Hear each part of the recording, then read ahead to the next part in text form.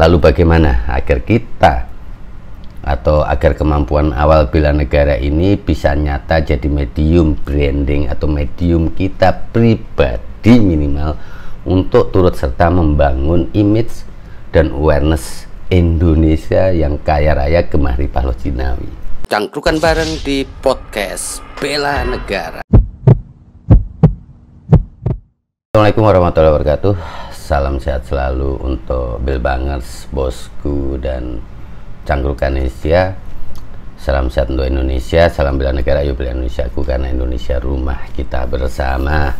Bela negara adalah sikap dan perilaku warga negara yang dijiwai oleh kecintaannya kepada negara kesatuan Republik Indonesia yang berdasarkan Pancasila dan Undang-Undang Dasar 1945 dan ini dalam menjalankan atau menjalin kelangsungan hidup bangsa dan negara yang seutuhnya.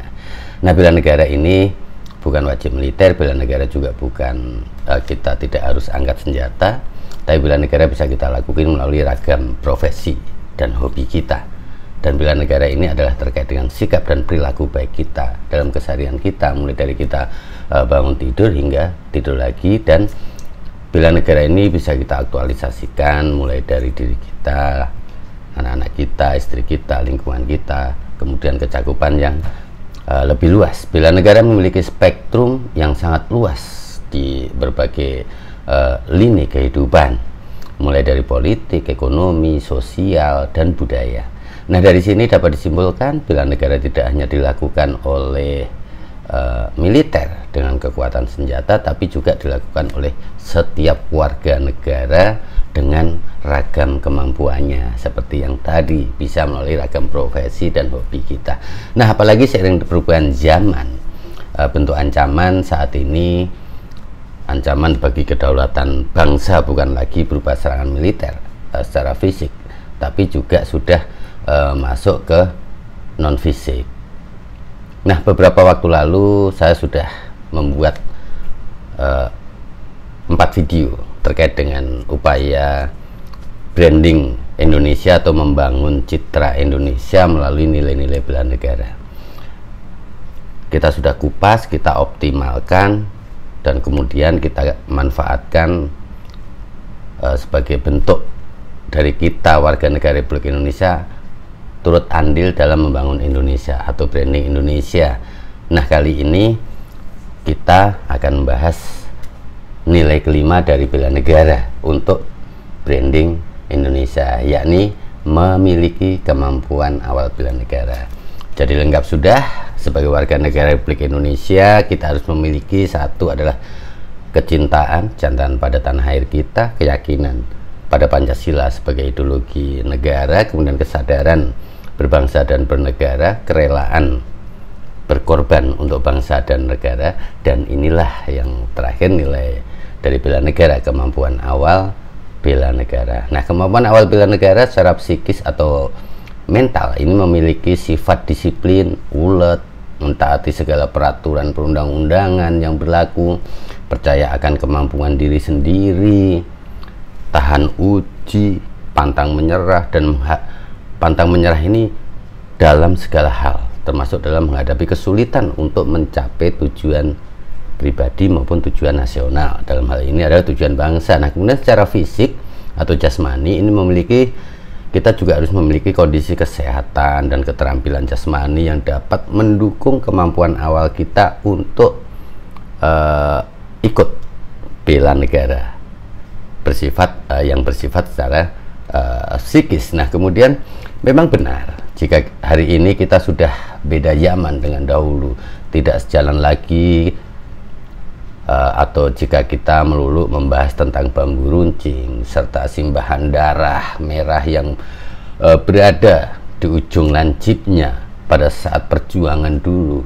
Begitu pula dengan perkara masa lampau seperti gerilya untuk membasmi apa namanya uh, para penjajah. Nah, menurut Wakil Ketua MPR RI Wahid Nur Hidayat, tugas kita sekarang simpel saja, yaitu mengubah energi perlawanan dan jihad melawan penjajahan menjadi etos kerja untuk membangun bangsa secara paripurna demi terwujudnya keadilan sosial, ekonomi bagi seluruh rakyat Indonesia. Sederhana memang, karena kita hanya diminta untuk mengubah energi malas, lelah, letih, lengs, uh, lunglai, lesu, buntu ilmu, serta berpikir dangkal menjadi etos kerja untuk membangun bangsa. Dan inilah merupakan wujud nyata dari kita membangun uh, citra Indonesia baik di mata dunia maupun di dalam negeri. Nah, nilai kelima dari bela negara ini adalah memiliki kemampuan awal bela negara. Nah, dari sini kita mesti berangkat dari hal-hal yang sederhana pula minimal dengan menguasai kemampuan awal bela negara. Nah, apa indikator kalau kita sudah memiliki nilai kelima ini? atau memiliki kemampuan awal bela negara itu antara lain memiliki kecerdasan intelektual, uh, kecerdasan spiritual, kecerdasan emosional, dan kecerdasan dalam bertahan hidup atau mengatasi kesulitan. Nah, kemudian yang kedua senantiasa memelihara kesehatan jiwa dan raganya. Kemudian ketiga adalah ulet dan pantang menyerah dalam menghadapi tantangan.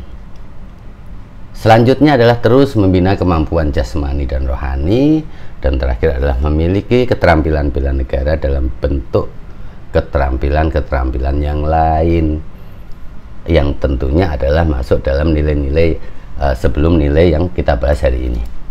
Di era digital ini salah satu hal yang mengancam uh, negara kita ialah hoax atau berita bohong. Kemajuan teknologi memudahkan semua orang mengakses membuat atau menyebarkan informasi yang belum jelas kebenarannya. Parahnya penyebaran berita bohong ini bagaikan bola salju yang efeknya semakin lama semakin besar dan berpotensi menyebabkan perpecahan apalagi di masa pandemi. Pandemi kita juga menghadapi infodemi alias serbuan informasi yang kebenarannya kita harus perlu verifikasi. Nah, lebih-lebih jika isu apa pun yang digoreng itu berkaitan dengan suku, agama, ras, dan antar golongan atau yang sering kita sebut dengan SARA.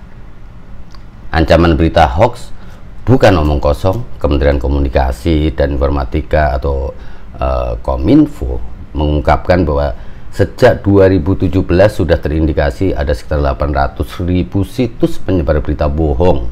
Selain itu, Kominfo juga mencatat bahwa ada sekitar 40 ribu media yang mengklaim diri sebagai media online hanya 300 yang sudah terverifikasi oleh Dewan Pers nah sungguh internet merupakan pisau bermata dua lalu bagaimana agar kita atau agar kemampuan awal bela negara ini bisa nyata jadi medium branding atau medium kita pribadi minimal untuk turut serta membangun image dan awareness Indonesia yang kaya raya gemah ripah Jinawi. Satu sebagai konten kreator, sebagai apa pun pekerja, konten kreator, PNS, polisi, TNI, bahkan presiden ini memang sama-sama memiliki hak dan kewajiban untuk bela negara dan ini diamanatkan oleh Undang-Undang Dasar 1945. Ini bisa dicari uh, sendiri dasar-dasar bela negara ini cukup banyak dan bela negara juga bukan wajib militer. Indonesia bicara baik ini digagas oleh insan kehumasan Indonesia yang tergabung dalam Perhimpunan Humas Indonesia dan disambut oleh Presiden Republik Indonesia Bapak uh, Insinyur Joko Widodo mulai dari tahun 2015, 2016, 2017 dan 2018 memang susah. Karena apa? Hantaman hoax, hantaman fake news, hantaman lain-lain ini akhirnya mengganggu hal-hal baik yang ada di Indonesia ini bisa terdistribusi dengan baik. Jadi pertama adalah di era pandemi, di era teknologi, di era bencana, di era apa pun ini, ayo tetap Indonesia bicara baik. Kita sebar, kita banjiri kanal-kanal sosial media kita dengan hal-hal baik tentang Indonesia. Mulai dari berita ekonomi, ekonomi pertumbuhan ekonomi kita yang membaik, destinasi wisata kita yang sudah mulai bangkit, pesona Indonesia yang begitu eksotis, alam-alam Indonesia, lautnya, pulau-pulaunya, budayanya, bahasanya. Nah, ini kita oleh menjadi menjadi konten-konten kreatif untuk memberikan perspektif yang berbeda, image yang berbeda tentang Indonesia. Nah, kemudian gelorakan semangat bela Indonesia dari diri kita, mulai dari kita bangun tidur sampai kita tidur lagi dengan cara melakukan hal-hal baik, mulai dari yang kecil. Buang sampah jangan sembarangan. Menerapkan protokol kesehatan dengan uh, 5M, awalnya 3M dan yang paling penting sekarang dibingkai dengan tiga utama iman aman imun iman tetap jalankan ibadah anda sesuai dengan kepercayaan anda dan berdoa kepada sang pencipta agar wabah dan bencana yang ada di Indonesia ini segera berakhir kemudian aman nah aman dengan 5M tetap memakai masker mencuci tangan menjaga jarak menjauhi keramaian dan menjaga mobilitas. Apalagi sekarang ada vaksin, yuk kita dukung uh, vaksinasi. Walaupun kita nggak tahu, saya, Anda, bosku semua, kapan dapat antriannya. Bagi yang mendapatkan privilege divaksin bersama dengan Presiden Republik Indonesia atau jajaran pejabat Republik Indonesia ini, berbanggalah kalian-kalian terpilih dan tetap kasih contoh terbaik untuk rakyat Indonesia satu, agar jangan sampai tidak percaya dengan Indonesia. Jangan sampai ikut-ikutan, tidak mematuhi protokol kesehatan, dan lain sebagainya. Kemudian jadilah agen bela negara. Bela negara sesuai dengan ragam profesimu atau hobimu. Kalau hobi games, silahkan tetap menggunakan adab dan adat ketimuran kita untuk menyelipkan nilai-nilai keindonesiaan dalam permainan kita, dalam interaksi kita dengan gamers-gamers lain.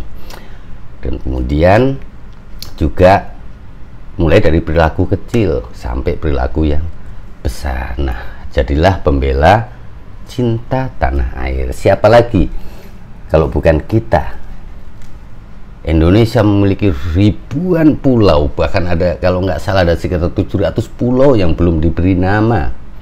Ratusan bahasa, suku bahasa, budaya. Dari sisi tarian aja, berapa banyak tarian daerah yang ada di Indonesia. Dari pakaian adat, berapa banyak pakaian adat yang ada di Indonesia. Ini semua bisa kita kemas untuk kita jadikan branding Indonesia biar internasional melihat Indonesia sungguh kaya raya. Tidak hanya Bali, tidak hanya Toba, dan lain sebagainya. Karena di setiap pelosok Indonesia adalah destinasi wisata terbaik. Baik wisata alam, budaya, sejarah, dan lainnya. Jadi yuk semangat bela negara, semangat bicara baik tentang Indonesia, siap jadi agen bela negara dan tetap menerapkan protokol kesehatan di masa pandemi ini. Salam sehat untuk Anda semua.